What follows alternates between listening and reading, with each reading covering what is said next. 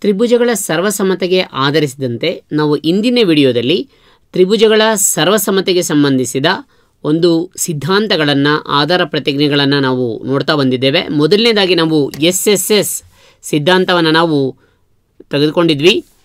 ಬಾಹು ಬಾಹು ಬಾಹು, ಎಸ್ ಎಸ್ ಎಸ್ ಸಿದ್ಧಾಂತವನ್ನು ನಾವು ಪ್ರೂವ್ ಮಾಡಿದ್ವಿ. ಏನಪ್ಪ ಅಂತಂದರೆ, ಒಂದು ತ್ರಿಭುಜದ ಮೂರು ಬಾಹುಗಳು ಮತ್ತೊಂದು ತ್ರಿಭುಜದ ಮೂರು ಅನುರೂಪ ಬಾಹುಗಳಿಗೆ ಸಮನಾಗಿದ್ದರೆ ಆ ಎರಡು ತ್ರಿಭುಜಗಳು ಪರಸ್ಪರ ಸರ್ವಸಮ ಅಂತಕ್ಕಂಥದ್ದು. ಅಂದರೆ ಎಸ್ ಎಸ್ ಎಸ್ ಕಾಂಗ್ರುಯೆನ್ಸಿನ ನಾವು ಇಂದಿನ ಒಂದು ವಿಡಿಯೋದಲ್ಲಿ ಪ್ರೂವ್ ಮಾಡಿದ್ದೇವೆ. ಈಗ ಮತ್ತೊಂದನ್ನು ತೆಗೆದುಕೊಳ್ತಾ ಇದ್ದೇವೆ. ಎ ಎ ಎ, ಕೋ ಕೋ ಕೋ ಸಿದ್ಧಾಂತ. ಈ ಒಂದು ಸಿದ್ಧಾಂತದಿಂದ ನಾವು ಇದನ್ನು ಪ್ರೂವ್ ಮಾಡಬಹುದಾ? ಈ ಮೂರೂ ತ್ರಿಭುಜಗಳು ಅಥವಾ ಈ ಎರಡು ತ್ರಿಭುಜಗಳು ಪರಸ್ಪರ ಸರ್ವಸಮವೇ? ನೋಡಿ ಅಂತ ಕೇಳೋದಾದರೆ ಒಂದ್ಸರಿ ನೋಡೋಣ.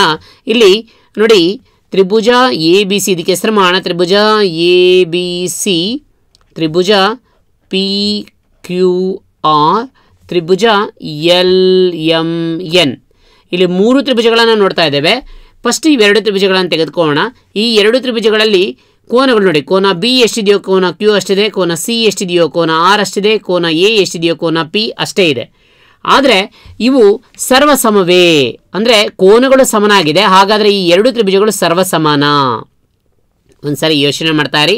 ಈಗ ಇವೆರಡು ತ್ರಿಭುಜಗಳನ್ನು ತೆಗೆದುಕೊಳ್ಳೋಣ. ತ್ರಿಭುಜ ಎ ಬಿ ಸಿ ಮತ್ತು ತ್ರಿಭುಜ ಎಲ್ ಎಂ ಎನ್ ಈ ಎರಡು ತ್ರಿಭುಜವನ್ನು ತೆಗೆದುಕೊಳ್ಳಿ. ಕೋನ ಎ ಇಸ್ ಈಕ್ವಲ್ ಟು ಕೋನ ಎಲ್ ಕೋನ ಬಿ ಇಸ್ ಈಕ್ವಲ್ ಟು ಕೋನ ಎಂ ಕೋನ ಸಿ ಇಸ್ ಈಕ್ವಲ್ ಟು ಕೋನ ಎನ್ ಆಗಿದೆ.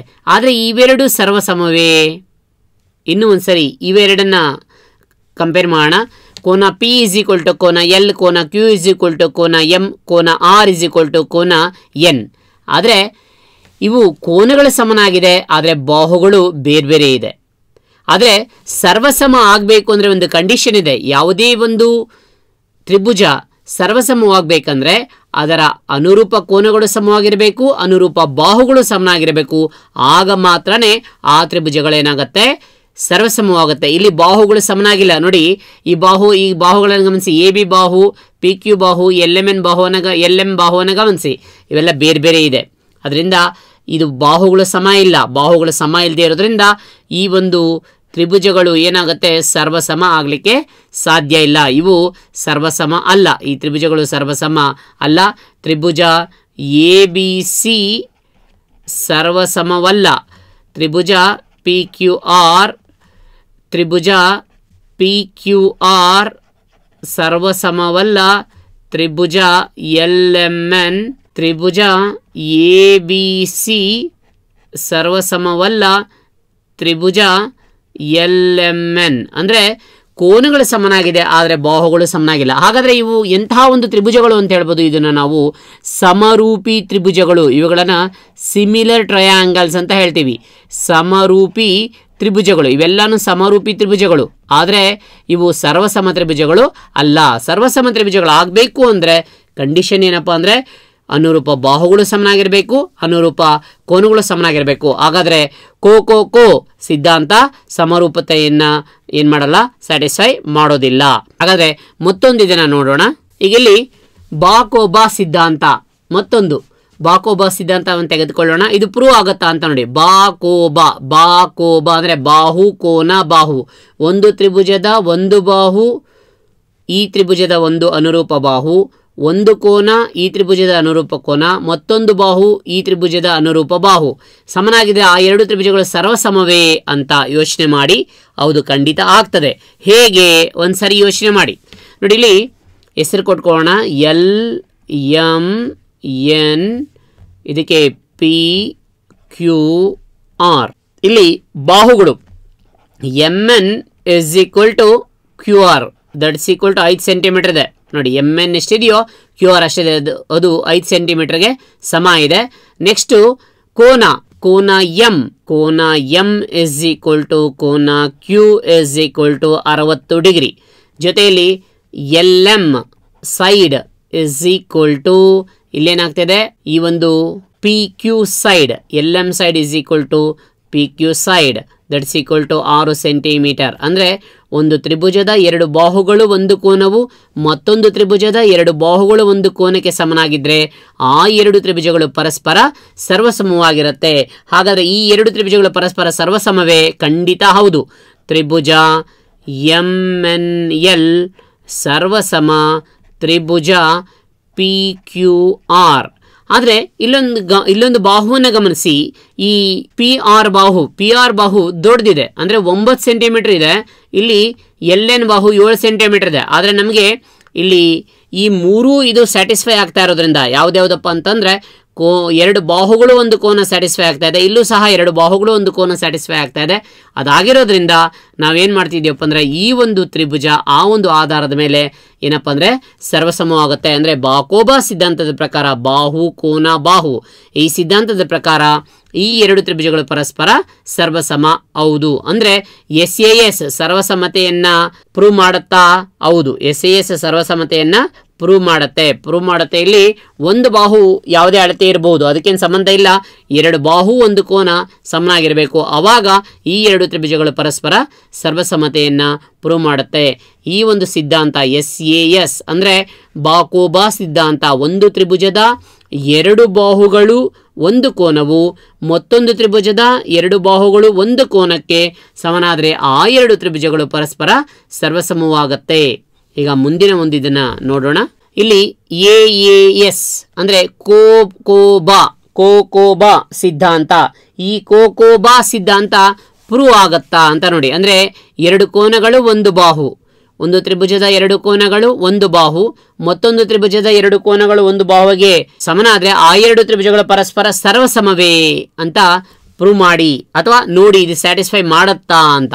ಈ ಕೋಕೋಬಾ ಅಂದ್ರೆ ಎರಡು ಕೋನ ಒಂದು ಬಾಹು. ಇಲ್ಲಿ ಎರಡು ಕೋನಗಳು. ಎರಡು ಕೋನಗಳಿದೆ. P Q L M P Q ಮತ್ತು ಎಲ್ ಎಂ ಇದು ಎನ್ ಅಂತ ತೆಗೆದುಕೊಳ್ಳೋಣ. ತೆಗೆದುಕೊಂಡಾಗ ಪಿ ಕ್ಯೂ ಪಿ ಕ್ಯೂ ನೋಡೋಣ. ಕೋನ ಪಿ ಎಷ್ಟಿದೆ? ಕೋನ ಪಿ ಇಸ್ ಈಕ್ವಲ್ ಟು ಕೋನ ಎಲ್ ಇಸ್ ಈಕ್ವಲ್ ಟು ಎಷ್ಟಪ್ಪ ಅಂದರೆ ಅರವತ್ತು ಡಿಗ್ರಿ. ಕೋನ ಕ್ಯೂ ಇಸ್ ಈಕ್ವಲ್ ಟು ಕೋನ ಎಂ ಇಸ್ ಈಕ್ವಲ್ ಟು ಐವತ್ತು ಡಿಗ್ರಿ. ಜೊತೆಯಲ್ಲಿ ಈ ಪಿ ಆರ್, ಈ ಪಿ ಆರ್ ಬಾಹು ಎಷ್ಟಿದೆಯಪ್ಪ ಅಂದರೆ ಐದು ಸೆಂಟಿಮೀಟರ್ ಇದೆ. ಇಲ್ಲಿ ನೋಡಿ, ಈ ಒಂದು ಬಾಹು ಇಲ್ಲಿ ಸೇರ್ಕೊಂಡಿಲ್ಲ. ಆದರೆ ನಾವಿಲ್ಲಿ ಇದು ಅನುರೂಪ ಕೋನ ಆಗಿರೋದ್ರಿಂದ ನಾವು ಇದನ್ನ ಇಲ್ಲಿ, ಆದರೆ ಇಲ್ಲಿ ಅನುರೂಪ ಆಗಿರೋದ್ರಿಂದ ಇದನ್ನ ಇಲ್ಲಿ ಹೇಳ್ಕೊಂಡ್ರೆ ಅದು ಸ್ಯಾಟಿಸ್ಫೈ ಆಗುತ್ತೆ. ಅವಾಗೂ ಸಹ ಇದು ಎಷ್ಟಾಗುತ್ತಪ್ಪ ಅಂದರೆ ಇದು ಐವತ್ತು ಡಿಗ್ರಿ ಇಲ್ಲೇ ಇರುತ್ತೆ. ಐವತ್ತು ಡಿಗ್ರಿನೇ ಇರುತ್ತೆ ಅವಾಗಿದು ಅದರಿಂದ ಈ ಒಂದು ಸಿದ್ಧಾಂತದ ಪ್ರಕಾರ ಅಂದರೆ ಕೋಕೋಬಾ ಸಿದ್ಧಾಂತದ ಪ್ರಕಾರ ನಾವು ತ್ರಿಭುಜಗಳ ಸರ್ವಸಮ್ಮತೆಯನ್ನು ಸ್ಯಾಟಿಸ್ಫೈ ಮಾಡಬಹುದು. ಇದು ತ್ರಿಭುಜಗಳ ಸರ್ವಸಮ್ಮತೆಯನ್ನು ಸ್ಯಾಟಿಸ್ಫೈ ಮಾಡಬಹುದಾಗಿದೆ. ಇಲ್ಲಿ ಐವತ್ತು ಡಿಗ್ರಿ ಆಯಿತು. ನೋಡಿ, ಇಲ್ಲಿ ಐವತ್ತು ಡಿಗ್ರಿ, ಇದು ಅರವತ್ತು ಡಿಗ್ರಿ, ಇದು ಅರವತ್ತು ಡಿಗ್ರಿ, ಇದು ಐದು ಸೆಂಟಿಮೀಟರ್ ಇದು ಐದು ಸೆಂಟಿಮೀಟ್ರು ಇದು ಸ್ಯಾಟಿಸ್ಫೈ ಮಾಡಲಿಕ್ಕೆ ಸಾಧ್ಯ ಆಯಿತು. ಈಗ ಮತ್ತೊಂದು ಇದನ್ನು ನೋಡೋಣ. ಲಂ ವಿ ಬಾ, ಅಂದರೆ R H S. R H S ಇದನ್ನು ನೋಡ್ತಾ ಇದ್ದೀವಿ ನಾವು.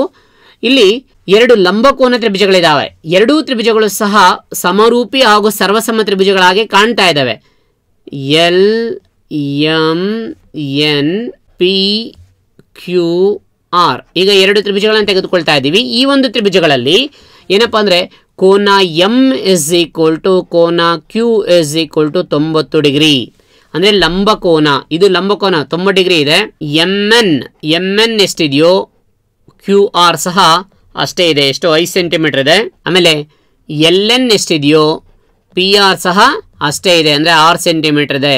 ಅಂದರೆ ಈ ಎರಡು ತ್ರಿಭುಜಗಳು ಸರ್ವಸಮವೇ? ಹೌದು. ಯಾವುದರ ಆಧಾರದ ಮೇಲೆ? ಲಂಬಕೋನ ವಿಕರಣ ಬಾಹು ಸಿದ್ಧಾಂತ. ಲಂಬಕೋ, ಎರಡು ಲಂಬಕೋನ ತ್ರಿಭುಜಗಳಲ್ಲಿ ಇಲ್ಲಿ ಎರಡು ಲಂಬಕೋನ ತ್ರಿಭುಜಗಳಿದೆ. ಲಂಬಕೋನ, ವಿಕರಣ ಮತ್ತು ಬಾಹು ಸಮ ಇದ್ರೆ, ಒಂದು ಸಮ ಇದ್ರೆ ಆಗ ನಾವು ಈ ಎರಡು ತ್ರಿಭುಜಗಳನ್ನು ನಾವೇನಂತ ಕರಿತೀವಿ ಅಂದರೆ ಪರಸ್ಪರ ಸರ್ವಸಮ ತ್ರಿಭುಜಗಳು. ಅಂದರೆ ಆರ್ ಎಚ್ ಎಸ್ ಈ ಒಂದು ಸಿದ್ಧಾಂತನೂ ಸಹ ಏನಪ್ಪ ಅಂದರೆ ಸರ್ವಸಮತೆಯನ್ನ ಪ್ರೂವ್ ಮಾಡುತ್ತೆ. ಈಗ ಮತ್ತೊಂದನ್ನು ನೋಡೋಣ. ಕೋಬಾಕೋ ಸಿದ್ಧಾಂತವನ್ನ ನಾವು ಈಗಾಗಲೇ ಪ್ರೂವ್ ಮಾಡಿದ್ದೇವೆ. ಕೋಬಾಕೋ ಅಂದರೆ ಕೋನ ಬಾಹು ಕೋನ. ಸಿದ್ಧಾಂತವನ್ನು ಪ್ರೂವ್ ಮಾಡಿದ್ದೇವೆ. ಈ ಒಂದು ಇದನ್ನು ನೋಡಿಕೊಂಡಾಗ ನಾವು ಕೋಬಾಕೋ ಸಿದ್ಧಾಂತದಲ್ಲಿ, ಅಂದರೆ ಕೋನ, ಬಾಹು, ಕೋನ, ಅಂದರೆ ಇಲ್ಲಿ ಒಂದು ಇದು ತೆಗೆದುಕೊಂಡಿದ್ದೇವೆ, ಒಂದು ಬಾಹುವನ್ನು ತೆಗೆದುಕೊಂಡಿದ್ದೇವೆ. ಇಲ್ಲೂ ಸಹ ಸೇಮ್ ಇರತಕ್ಕಂಥ ಒಂದು ಬಾಹು ಇದೆ. ಇಲ್ಲಿ ಕೋನವನ್ನು ರಚನೆ ಮಾಡ್ತಾ ಇದ್ದೀವಿ. ಇದು ಒಂದು ಅರವತ್ತು ಡಿಗ್ರಿ ಕೋನ. ಇದು ಸಹ ಒಂದು ಅರವತ್ತು ಡಿಗ್ರಿ ಕೋನ ಇದೆ. ಮತ್ತು ಇದು ಒಂದು, ಇಲ್ಲಿ ಒಂದು ಎಪ್ಪತ್ತು ಡಿಗ್ರಿ ಕೋನ ಇದೆ. ಇಲ್ಲೂ ಸಹ ಒಂದು ಎಪ್ಪತ್ತು ಡಿಗ್ರಿ ಕೋನ ಇದೆ. ಹಾಗಾದರೆ ಈ ಎರಡು ತ್ರಿಭುಜಗಳು ಪರಸ್ಪರ ಸರ್ವಸಮವೇ. ಈಗಾಗಲೇ ನಾನು ಹೇಳಿದ್ದೇನೆ, ಇಲ್ಲಿ ಪಿ ಕ್ಯೂ ಎಷ್ಟಿದೆ ಅಂದರೆ ನಾಲ್ಕು ಸೆಂಟಿಮೀಟ್ರ್ ಇದೆ.